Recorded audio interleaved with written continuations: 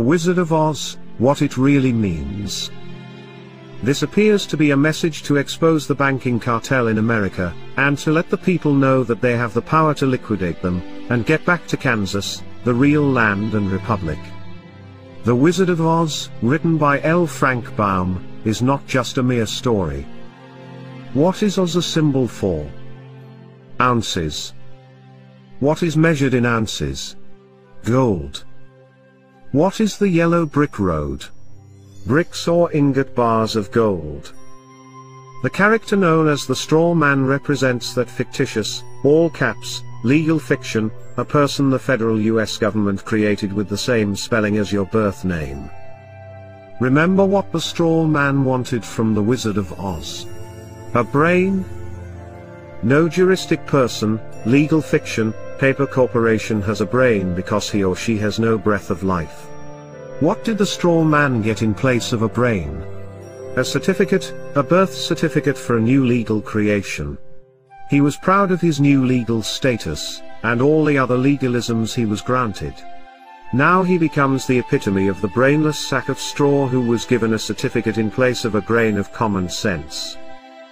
Now, what about the Tin Man?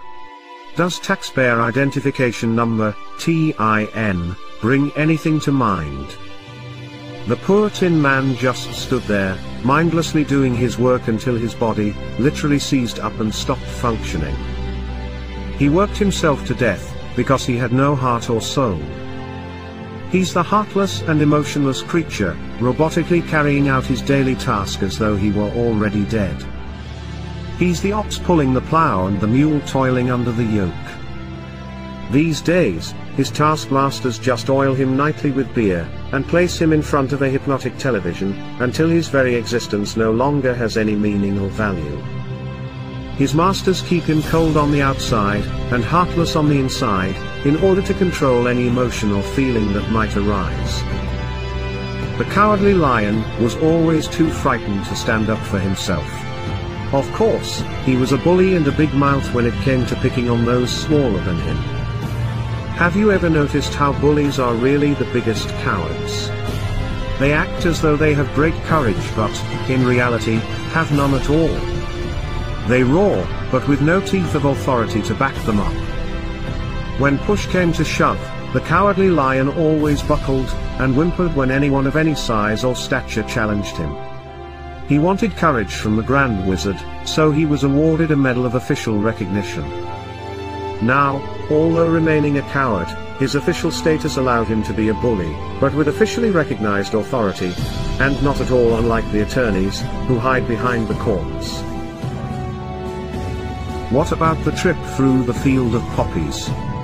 Did you notice how this had no narcotic effect on the straw man who had no brain, or the tin man with no heart or soul?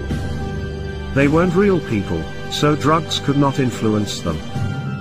The Wizard of Oz was written at the turn of the century, so how could the author have known America was going to be drunk? The Crown has been playing the drug cartel game for centuries.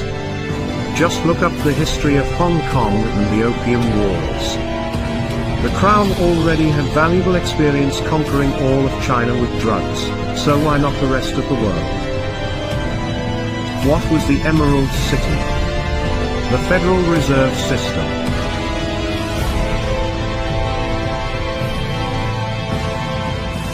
Who finally exposed Wizard for what he really was. Toto, the cute and somewhat annoying little dog. Toto means in total, or altogether in Latin. What was it that the witch wanted after she alleged that the little dog had bitten her? Toto. Or everything.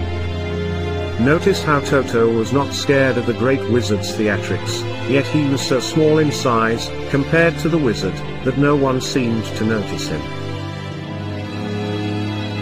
The smoke, flames and holographic images of Oz were designed to frighten people into doing as the great wizard commanded. But Toto simply padded over, started barking until others paid attention to him and came to see what the barking was about. Who was behind the curtain? just an ordinary person controlling the levers that created the illusion of the great wizard's power and authority.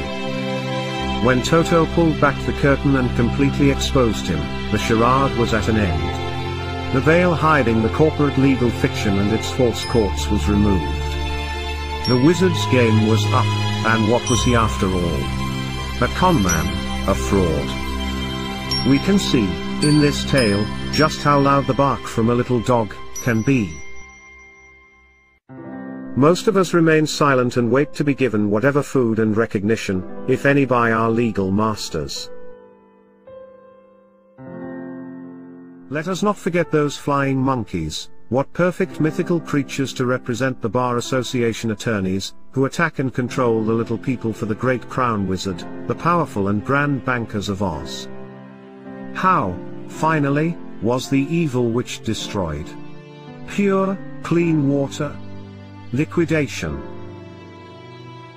How did Dorothy finally get home? She simply clicked her heels. She always had the power, and so do we. What would it take to expose the wizard for what he is? We each need only a brain, a heart and soul, and courage.